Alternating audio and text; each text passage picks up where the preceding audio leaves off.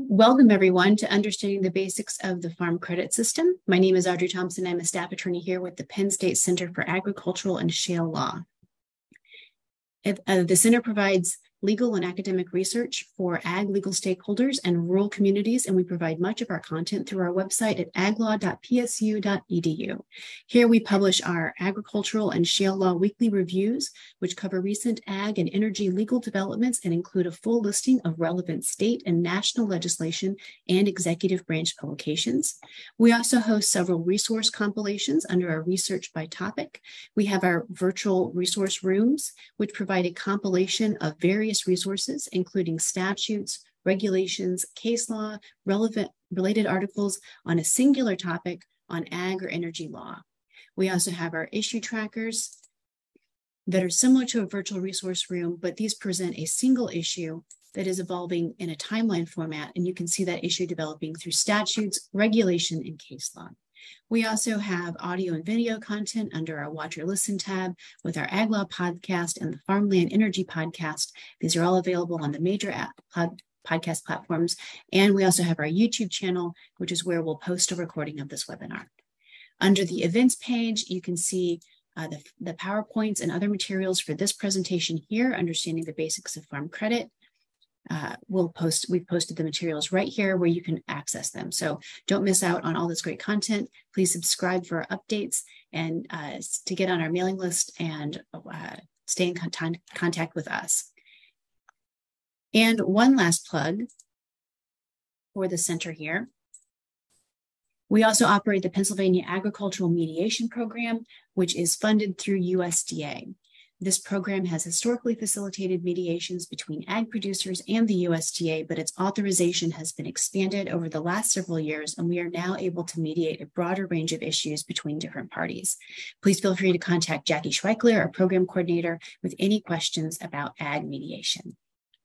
Today's webinar on farm credit is part of the Center's Understanding Agricultural Law series, a course designed to provide subject matter literacy and competence on fundamental issues of agricultural law to attorneys and business advisors who work with or represent agricultural or rural clients, but who may not uh, specialize in agricultural law.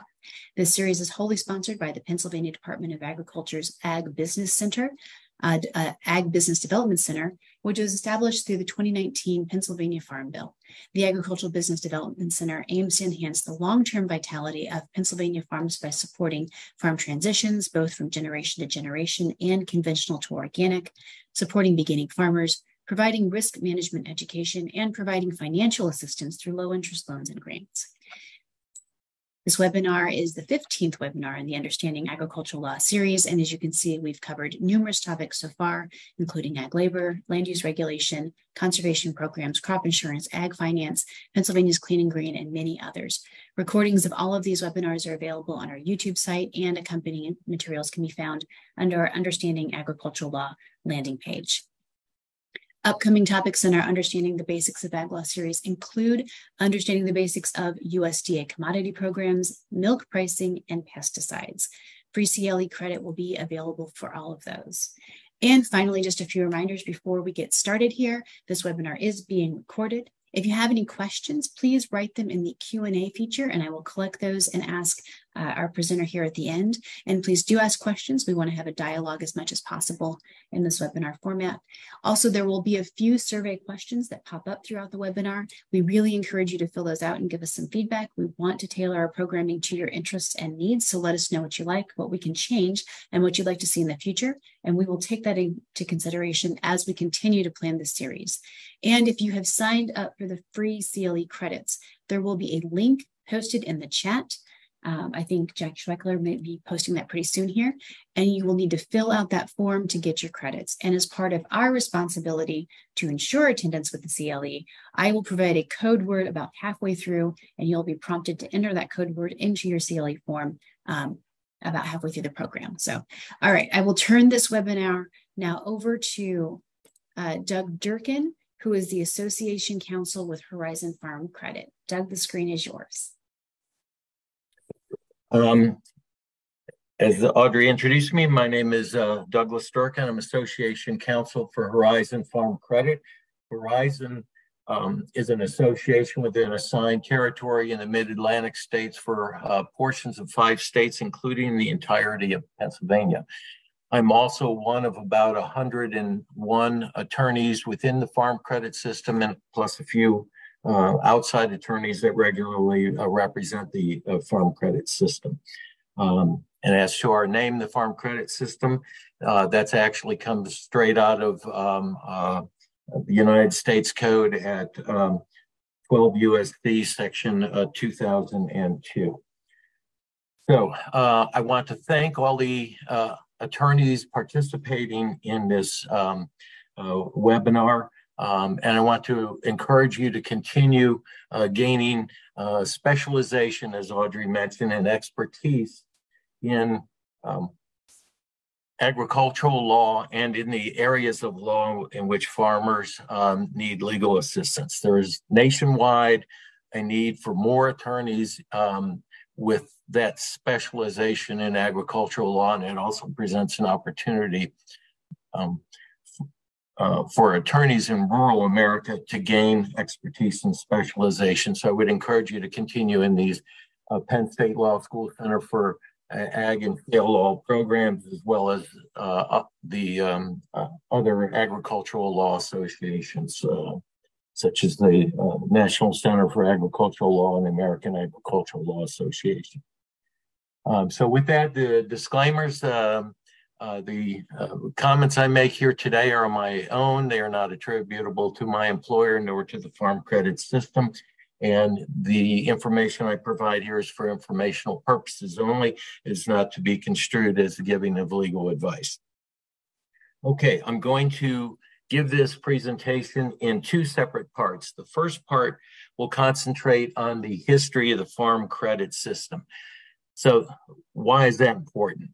The reason it's important is whenever you're dealing with any financial institution created by Congress, uh, you'll see over history that as there is an economic crisis or a war, Congress tends to start with the law that they had and then pass another law to deal with that economic crisis or the uh, consequences of war. Um, but those laws don't often mesh. They don't, the second law doesn't necessarily amend the first law, and then they'll keep doing this. So you wind up with like a layer cake with um, uh, a series of different laws regarding the same entity. And that is why when you deal with Horizon, uh, with when you deal with Horizon Farm Credit, you're actually dealing with three separate entities with three separate charters. That's not because we create subsidiaries like banks do. We're not permitted to do that, but it's because of the layers of law uh, passed by Congress. Um, and it's also important to know because uh, as lawyers, when you go to read the case law relevant to us, you're going to see terms that are no longer in use today. And you'll see the cases that have been negated because of subsequent legislation. So that's uh, important to keep in mind. So um, with that, let's move on to part one slide, uh, the farm credit system. Um, the Farm Credit System is currently controlled by the Farm Credit Act of 1971. It is a network of borrower owned lending institutions and related service organizations serving all 50 states and Puerto Rico. It provides credit and related services for farmers, ranchers, um, and aquatic producers and harvesters. It includes system banks, originally 12, now four, and even though I use the word banks, they're not banks in the sense that um, you traditionally uh, think of, and I'll explain their their role uh, uh, in a later slide. And it's also composed of associations, each of which is governed by their own board of directors. And the stockholders of these uh, banks and associations are the farmer borrowers. That's critical to know because it's a cooperative um, type organization. And the reason stockholders are important to you, as we'll see in some of the later slides, is um, that the stockholders receive a financial benefit at the uh, end of the year based on the profits that the individual association uh, produces. What it's like a dividend, and although we're authorized to pay dividends, what uh, are is typically being paid today is something known as patronage. So that's and frankly, that's why uh, farmers uh, love doing business with us because it, it's an, uh, effectively a rebate on their uh, interest that they pay throughout the year. Um, in uh, in our scenario, that's typically paid around March of every year. Okay. Um, congressional purpose. Uh, giving you the uh, statute uh, and the wording uh, provided by Congress. But the bottom line here is, um, and what you uh, what you need to know is that for any nation to be successful, um, certain things are required, and that's you know rule of law, a national defense, but more importantly, um, you have to be able to feed the people, and that's excuse me. That is why um, Congress, state legislatures have such an interest in agriculture and uh, pass so many laws um, to um, support agriculture to make the nation successful and and the people fed. Okay, um, moving on. I think next we have a video. Audrey, if you would please run it. For a century, Farm Credit has been supporting rural communities and agriculture with reliable, consistent credit and financial services. But do you know why Farm Credit was created? Rural enterprises and agriculture are essential, yet volatile. Farm Credit was created to help rural communities from coast to coast weather financial ups and downs. Our access to financial resources and cooperative structure have allowed us to remain strong through bad and good times. Thanks. Farm Credit supports the diverse financial needs of farmers, ranchers, and rural businesses. We also help rural communities thrive by financing vital infrastructure and communication services. That steady flow of credit means more jobs, more economic growth, and more investment in rural America. Today's beginning farmers are the backbone of tomorrow's rural communities. That's why Farm Credit actively supports youth leadership programs like 4 H and the FFA and makes an average of 60,000 loans to beginning farmers each year. As a network of cooperatives, each locally owned by our borrowers, Farm Credit profits are returned directly to our customers, which helps strengthen the rural economy. Our mission has always been to support rural communities and agriculture, making America strong today and tomorrow. Visit farmcredit.com to learn more.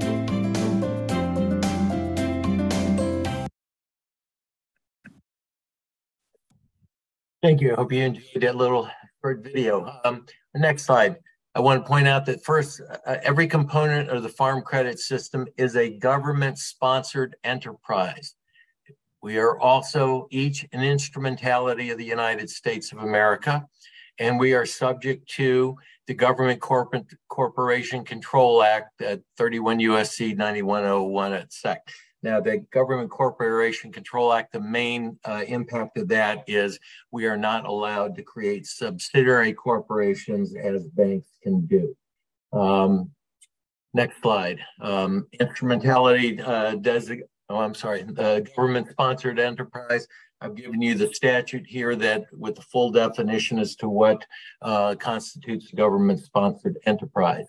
Um, next is the instrumentality. I've given you the two references to the federal laws where Congress has identified uh, the components of the farm credit system as instrumentalities of the United States of America. Our authority to do business is granted by uh, Congress via the Farm Credit Administration.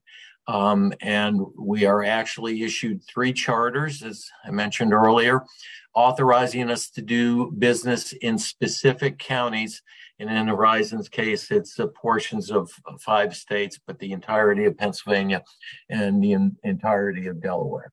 And because we are a government sponsored enterprise uh, created in this Farm Credit Act, our activities are controlled by federal law and um, any state laws uh, to the contrary, will uh, be preempted via the doctrine of federal preemption arising under the supremacy clause of the uh, United States Constitution. I've given you the citation of several cases um, uh, relevant to that point.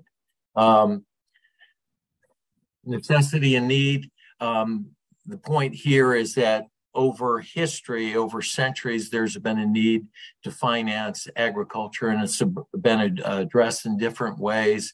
Uh, in the United States, going back to 1732, and then with the Homestead Act of 1862.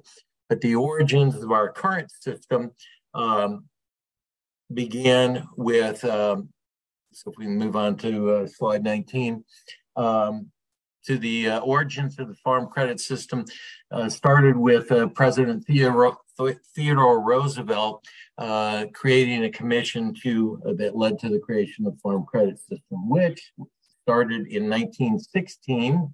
Uh, next slide by President Wilson when he executed the Federal Farm Loan Act, um, which created federal land banks and uh, National Farm Loan Associations. And as I uh, mentioned earlier, these are terms that are not used today because Congress passed uh, uh subsequent laws changing the title. So in 1916, if you wanted to join the brand new farm credit system, you would have to gather together 10 farmers to uh, borrow a total of at least $20,000. You would apply to a federal land bank, of which there were 12 at that time, uh, for a charter as a National Farm Loan Association. You had to borrow minimal, minimum amounts for your farm mortgage, and you have to buy stock. Uh, purchase of stock remains a, a continuing requirement today. Okay, these next several slides, I'm going to um, uh, condense them in my verbal presentation um, so we can save room for the um, other, perhaps more significant material at the end. So essentially, this uh, the next few slides present the uh, story that I, I, I introduced at the beginning, where you have an economic crisis, you have war, um, and and that results in Congress having to take action to um, uh, address the situation that is created as a result of that. So we have World War One, and after World War One, prices collapsed in the agricultural sector. And there was a need at that point in time to mechanize agriculture for the first time. So there was a need to finance this uh, equipment. And so Congress uh, passed uh, another act uh, that created production credit associations, the PCAs, which still exists today. And Horizon, uh, one of our charters is for Horizon Farm Credit PCA. Um, the focus of those is uh, uh, short and intermediate term loans. Okay, then we hit the depression of um, the Great Depression in 1933 with farmers being in financial crisis and uh, as a result, the uh, farm credit system being in uh, financial crisis, Congress had to uh, um, pass a law to uh, bail out uh, the farm credit system. Um, that was the Farm Credit Act of 1933. Um, so a rescue was made by Congress. So then we get through World War II and we hit the 1950s, and once again, there's prosperity in America. There's prosperity in agriculture, and that sees results in a great consolidation of these various small associations throughout the United States. They began to consolidate. Um, and by 1968, that prosperity in agriculture had resulted in paying off all the government funds that had been used uh, from 1933 onward to rescue the, the system. And uh, the system was once again um, free of any uh, government funding. So um, I'm going to skip ahead then to um, okay.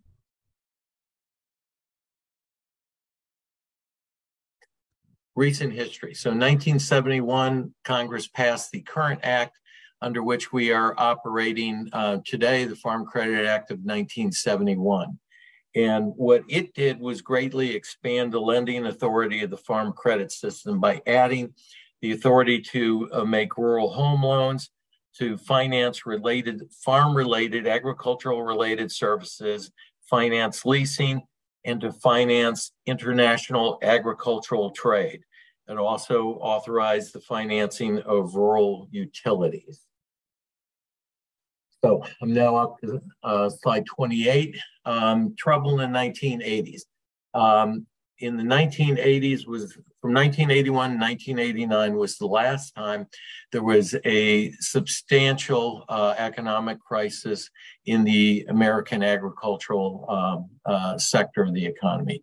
And if, uh, an attorney of my age, you would uh, probably remember that from um, uh, Willie Nelson's and uh, John Mellencamp's uh, um, farm aid concerts. Um, so in 1985, the farm credit system lost $2.7 billion. It was the largest one year loss for any financial institution in US history.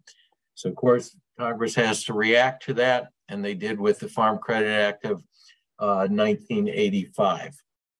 And so that resulted in um, making the Farm Credit Administration a true arm's length prudential regulator, much like um, the Office of the Comptroller of the Currency is today for uh, banks and as the Office of Thrift Supervision once was for the savings and loans. Um, it also provided for a full-time presidentially appointed three-member board of directors that uh, um, operate the uh, Farm Credit Administration and the Farm Credit Administration was restructured to, give it oversight, regulatory, and enforcement powers uh, for purposes of avoiding um, the events that led up to the uh, 1981 to 1989 uh, trouble. But that, um, and then in 1987, um, Congress passed the Agricultural Credit Act of 1987.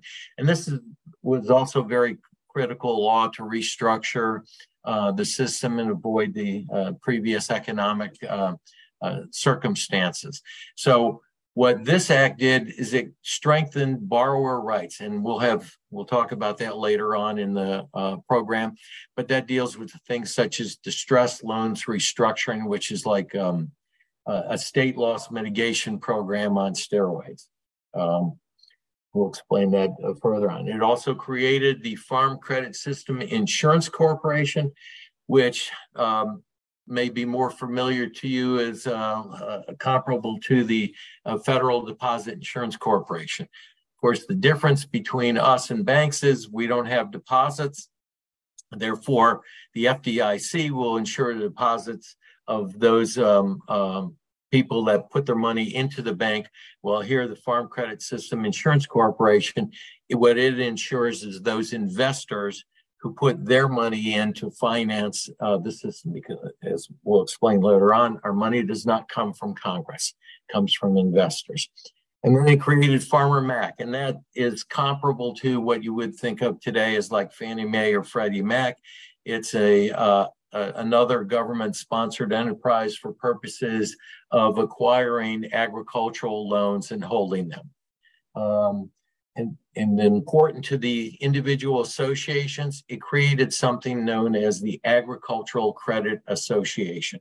So when you deal with when you deal with uh, any association today, you deal with Horizon, you're typically going to be uh, confronted with the ACA, Horizon uh, Farm Credit ACA, which pursuant to this law functions much like a holding company, somewhat like a parent company for the two subsidiaries, not created by us, created by Congress and the Farm Credit Administration, um, the two subsidiaries, one of which is the Federal Land Credit Association, which in prior iterations, the law was known as the Federal Land Bank Association.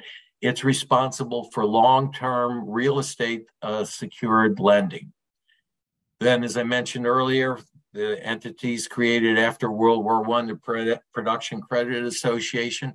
We have a Horizon PC, Horizon Farm Credit PCA as well. it's authorized to make um, short-term and intermediate uh, uh, financing uh, that, that, does not have to be secured by real estate.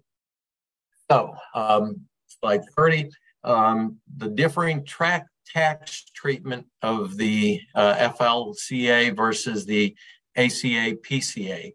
Um, this is uh, um, something to be aware of, uh, but won't necessarily affect outside attorneys.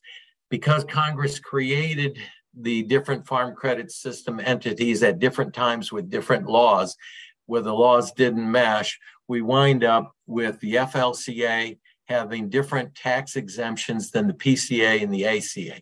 But the critical difference is relevant only to the Internal Revenue Service because with the FLCA, it is exempt from paying federal income tax. The P- PCA and the ACA do have to pay federal income tax, but otherwise they have general um, statewide uh, or, they have general exemptions from all state and local income tax.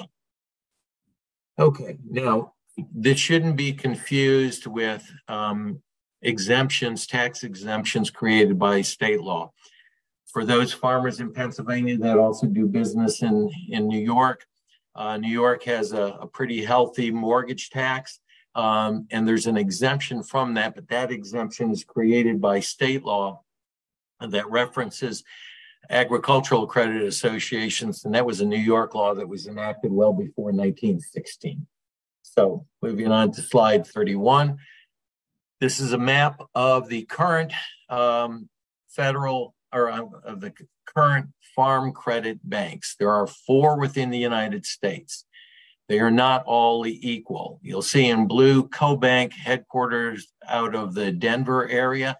Um, CoBank has, in essence, superpowers that the, the other banks do not have. It is the only one authorized to finance international agricultural transactions. And frankly, when you see the $1 billion and above promissory notes, typically um, CoBank will have a, a, role in those transactions. Then we have um, an AgriBank headquartered out of Minnesota and Farm Credit Bank in Texas, um, headquartered out of uh, Austin. Our bank that covers uh, Pennsylvania is AgFirst Farm Credit Bank, uh, headquartered out of Columbia, South Carolina.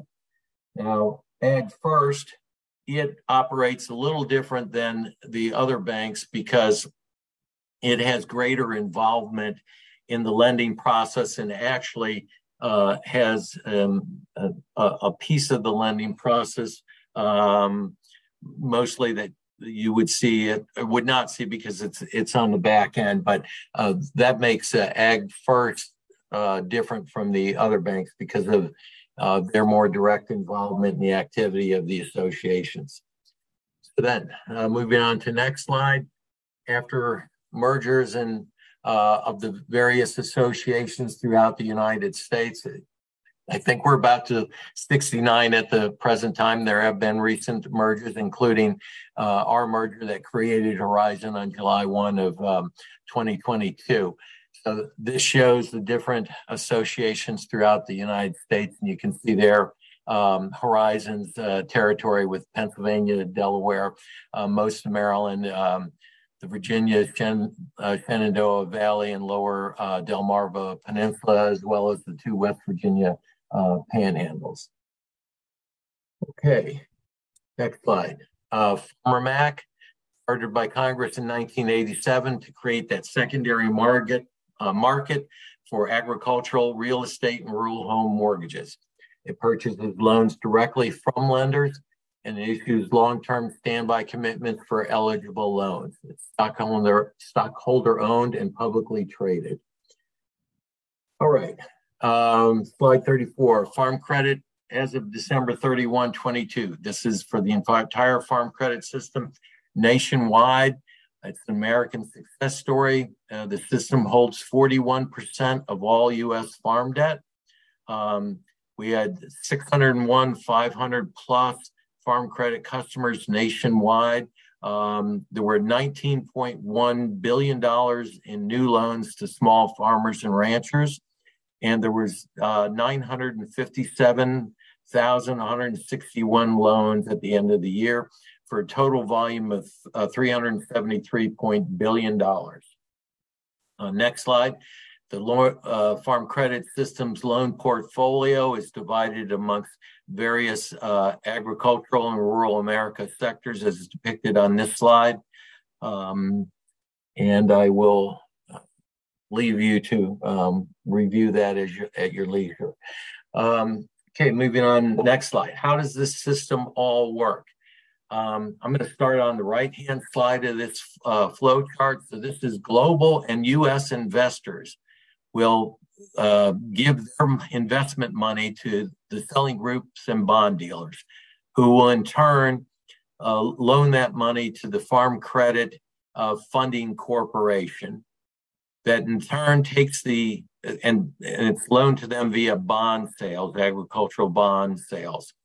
Um, and the proceeds of those bonds are then loaned to the four farm credit system banks that in turn lend that money to the individual re, uh, retail associations like Horizon, who in turn lend it to the borrowers. The borrowers then make their interest payments back to the association, who in turn makes their interest payments back to the Farm Credit Bank, and in turn makes it back to the funding corporation, back to the bond uh, dealers, and ultimately back to the bond investors. And with that, I think, Audrey, we have a small slide to, or a video to explain this.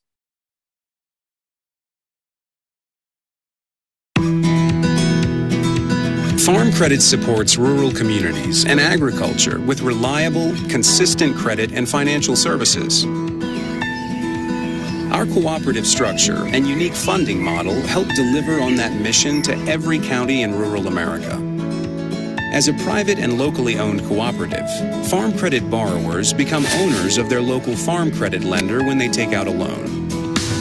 This gives them the right to elect their peers to represent their interests on the board of directors. Cooperative ownership is especially beneficial to members when the co-op shares its earnings. But where does the money come from to begin with? Farm Credit does not accept deposits and is not funded by the government.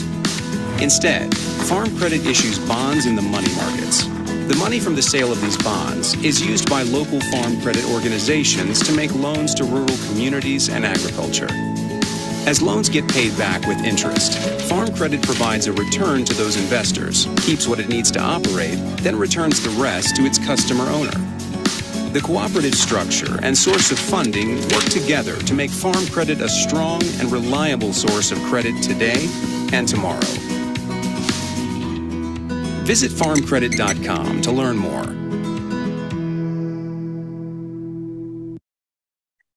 Hey, thank you, Audrey. Uh, our next slide is Farm Credit Administration. Uh, it's our prudential regulator. I think we've uh, sufficiently covered that.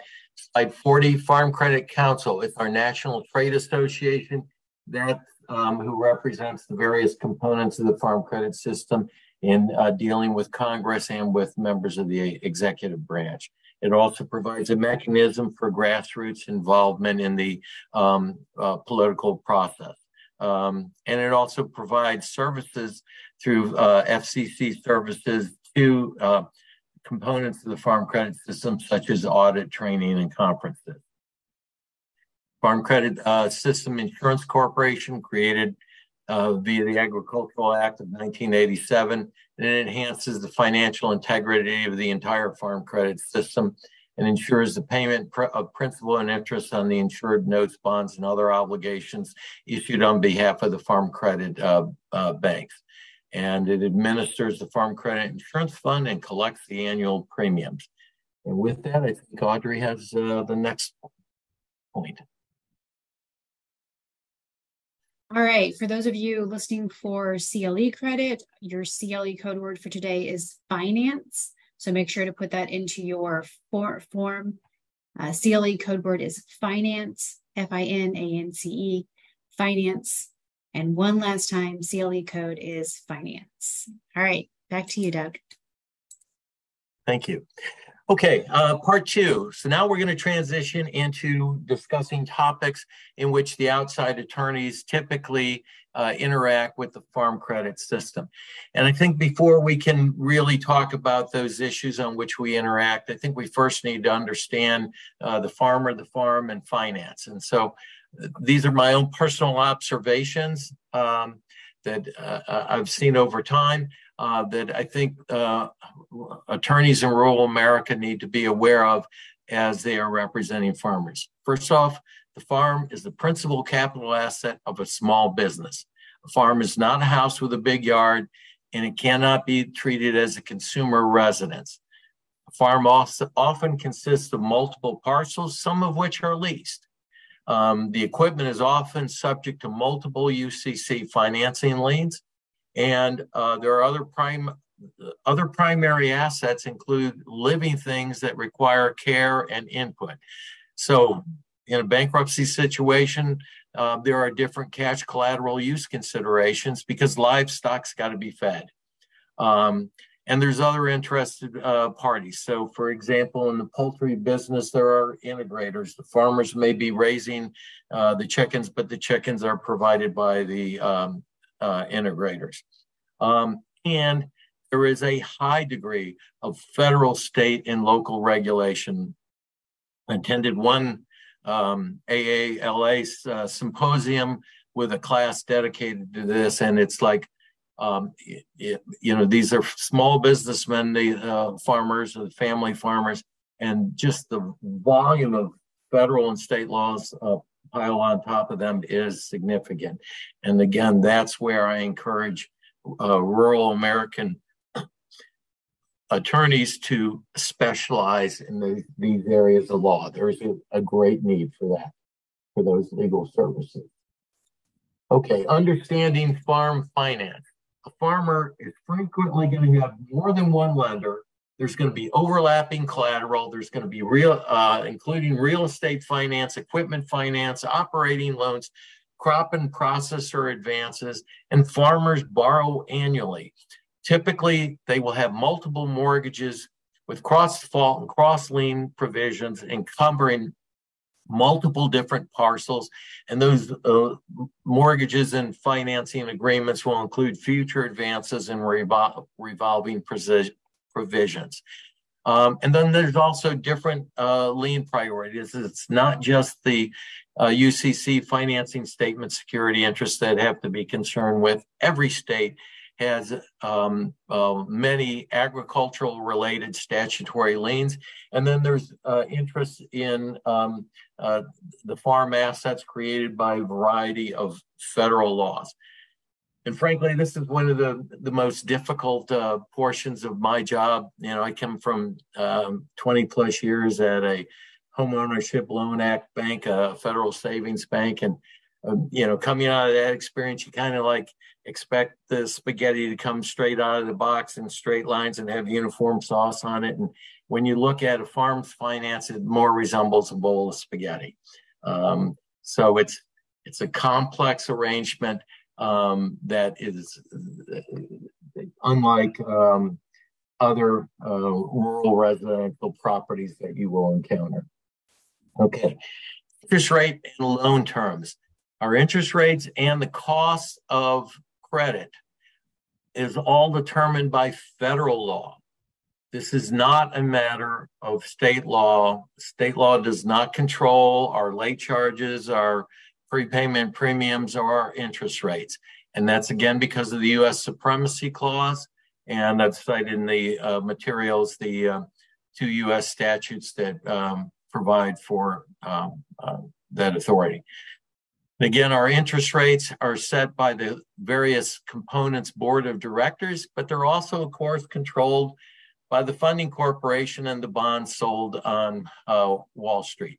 So that's why there's a current difference in what banks can offer in their interest rates, because that's based upon the interest rate they're paying their depositors.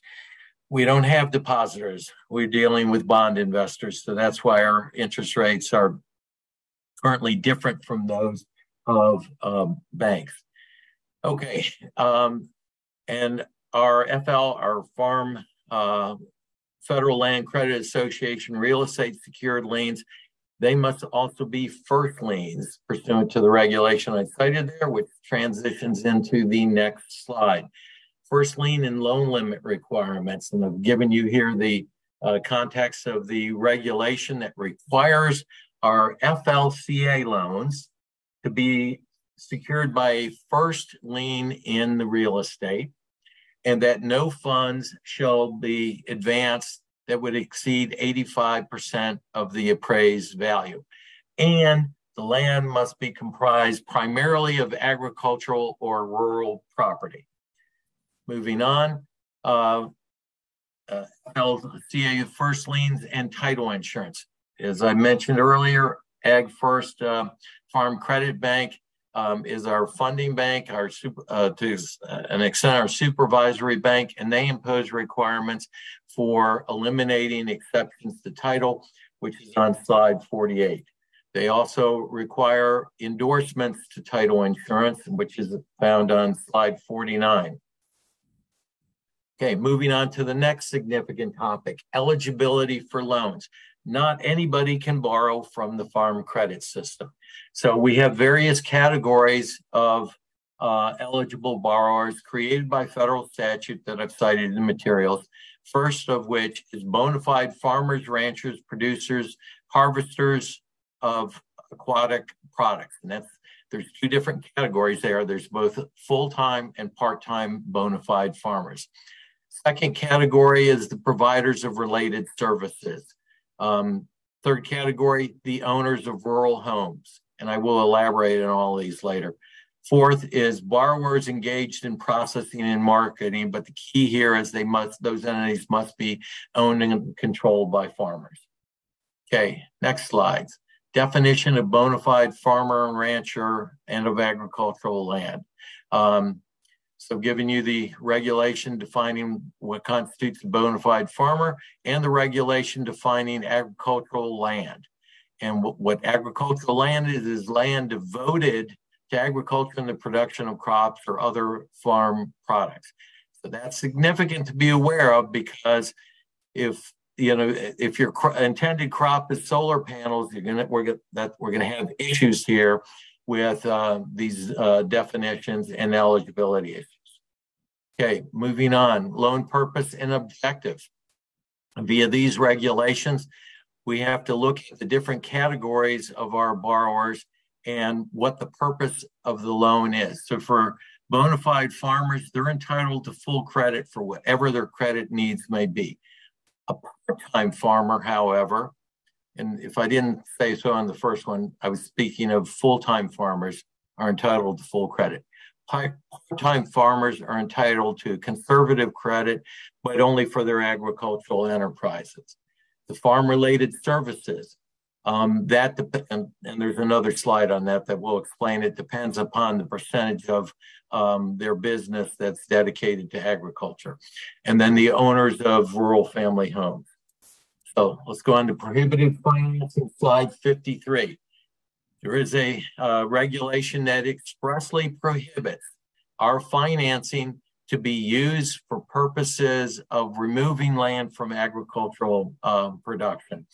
And um, so if you're uh, a speculator who wants to buy a, a farm field next to a, a, city or a town that's expanding and next to like a, you know, a shopping center, um, you're probably you're not eligible for a loan from us for that speculative purpose. That type of financing is prohibited. Okay, farm-related businesses. These are individuals or entities providing farm-related services directly related to agricultural production needs of farmers. When more than 50% of that business's income is related to farm-related services, we can finance all business activities. However, if 50% or less, less than 50% is related to farm related services, the system can only finance that portion that pertains to agriculture. Okay, next slide, farm related businesses. Examples are custom spraying and fertilizing, tillage and harvesting services, grain drying and storage. Not eligible, equipment only sales, fertilizer or pesticide only sales, or feed mills selling only bulk or bagged feed. How do our underwriters and, uh, conduct an, an analysis of eligibility?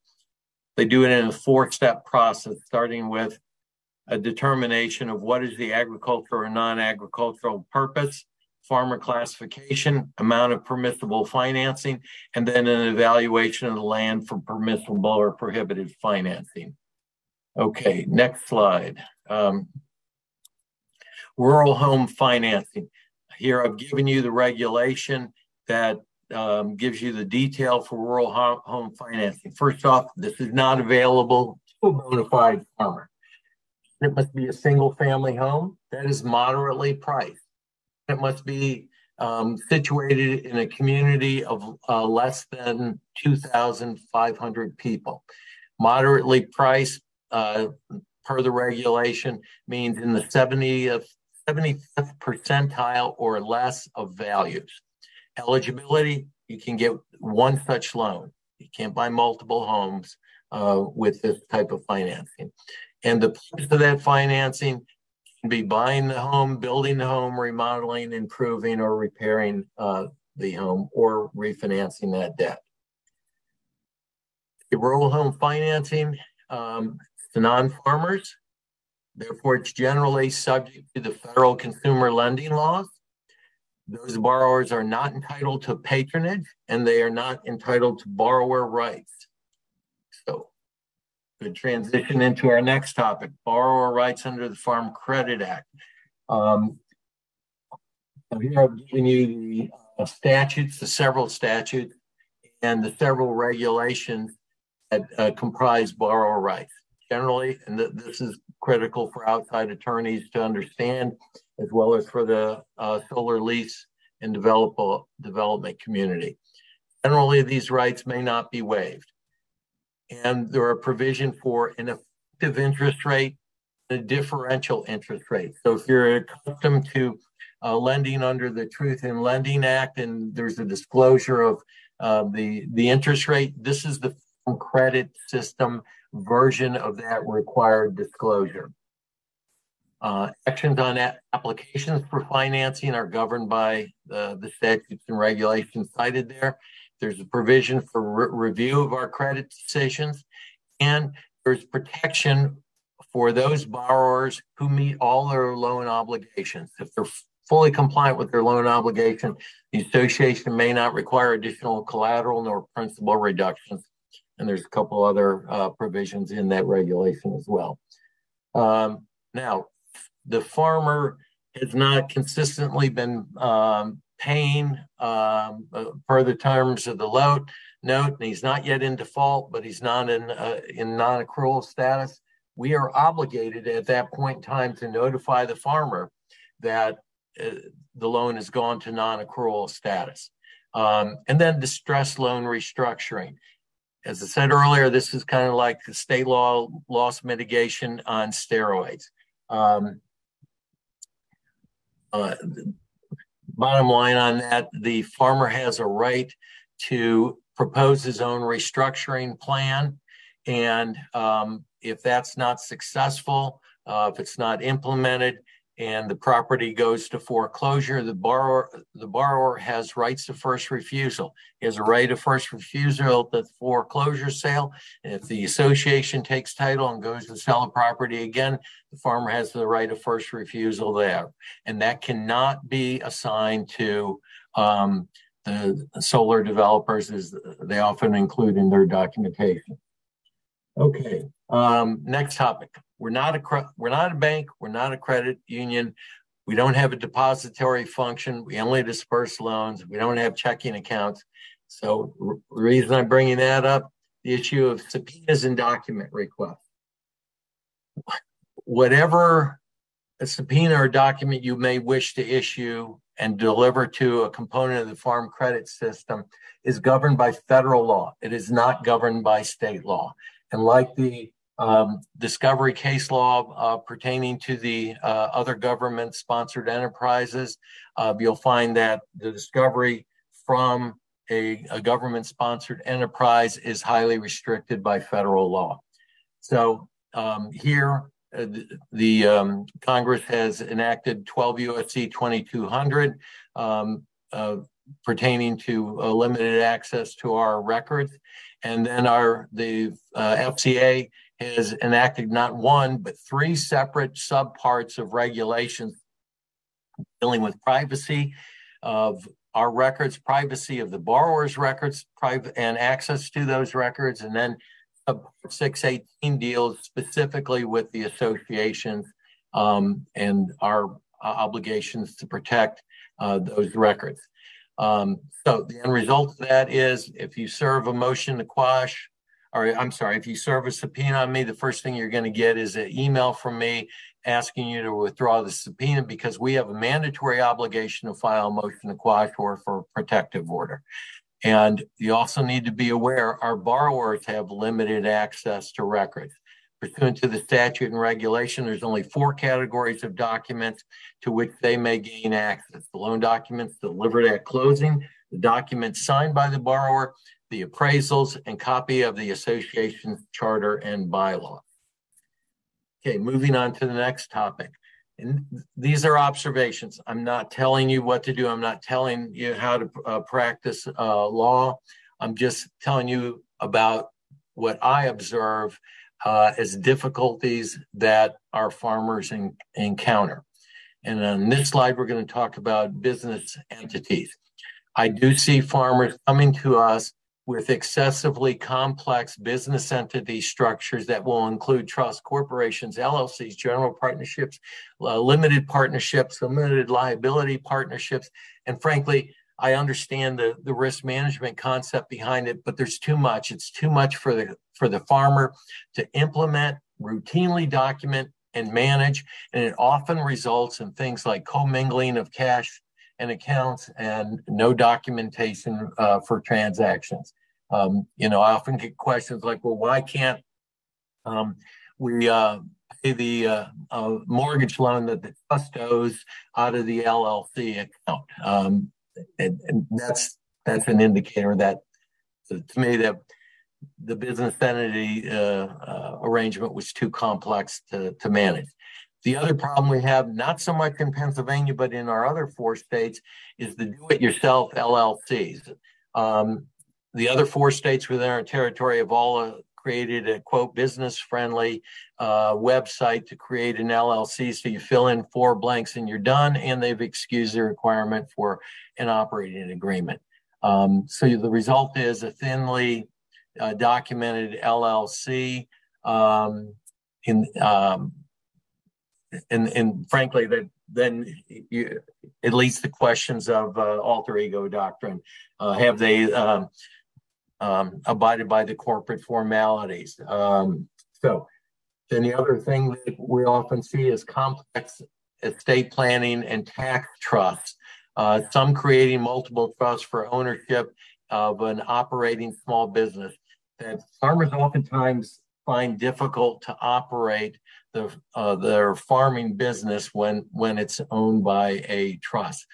I also see cookie cutter standard form trusts in in specific areas where you can see the uh, every farmer's getting the same uh, standard form uh, trust agreement. Um, what I would ask of you attorneys is to please discuss business documentation and management duties, the ongoing documentation and management duties with farmers before these uh, complex business entities are, are created. Okay, next slide. Observations, difficulties frequently encountered. Um, uh, I think we're on, um, okay, the real property. Again, farmers borrow annually and they typically have mortgage, multiple mortgages and multiple different parcels of farmland with cross default and cross lien provisions and sometimes cross lien across state lines. Um, and, the, and I just ask that uh, those complex financing arrangements be considered when drafting real estate's instruments, instruments and when putting uh, farms into revocable trust. Um, and I've also noticed um, that uh, farmers have started shedding and getting rid of their estate and tax plans that are uh, based upon trust and converting to plans based upon LLCs. I'm not an estate and uh, tax lawyer. I cannot give you any advice on that, but I do attend the agricultural law symposiums where uh, university professors who are experts in agricultural tax have explained to me why this is, is happening. But um, please consider those things. Um, get yourself very well educated in those issues um, before uh, drafting um, uh, real property documents. Troubled estate plan. Uh, typically, farmers will have one, maybe two children who will engage in farming. Uh, and also, farmers often do not want the farm cut up. And you can think of um, Kevin uh, Costner's character in Yellowstone. They want that farm preserved beyond their lifetimes. And when the farm uh, parcels are divided among several uh, children, but only one uh, of those children farm, that often results in either a termination of farming altogether because it's not economically feasible, perhaps a subdivision of the farm, um, or the one uh, child who is farming um, has an overwhelming debt to buy out uh, the siblings. And then the other ugly side of that is sometimes you'll see the family feud litigation over that. So, what I would ask is that you please discuss those topics with farmers before developing their estate plan. And amongst the resources, I reference a um, um, Virginia CLE program uh, offered in 2022 that um, uh, covered this and was presented by a, um, estate and trust attorney who was very well versed in um, uh, providing agricultural estate and tax plans. So I would say, don't listen to me on that. Please go listen to people with greater expertise. Okay, last slide. Uh, the observations, large scale solar leases and conservation easements.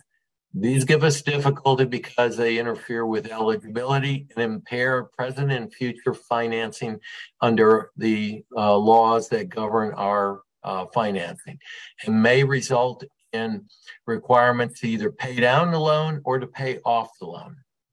Um, the portion of the farm that, which oftentimes cannot be legally subdivided because of uh, other obligations like the tax exemption law obligations, um, takes that portion of the farm out of the category of agricultural land, and that then imp has impact on like our loan limits and uh, future financing.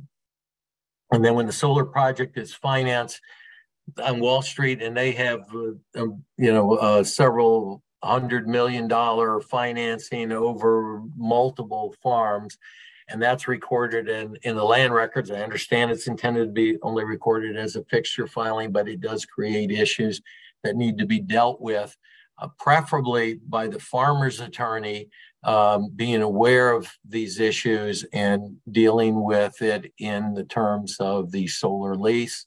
Um, okay, uh, and the the solar lease and developers uh, need to understand that um, the borrower rights exist, cannot be waived, and they cannot take a right of first refusal. Conservation easements, to the extent uh, restrict agricultural activities can also um, cause some difficulty. And then I think we're at the uh, last slide on. Uh, we are. Thank you so much, Douglas.